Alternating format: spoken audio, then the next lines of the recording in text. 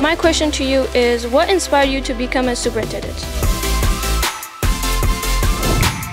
When I first came into education, I came in to be a teacher. I wanted to exercise my leadership, so I became an assistant principal. I love putting on programs and seeing the success of a program. If I can continue to be a teacher, but of adults that can then help children, that's really what inspired me is to make a difference in my community.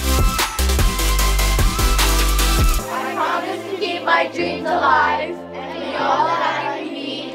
I promise to stay in school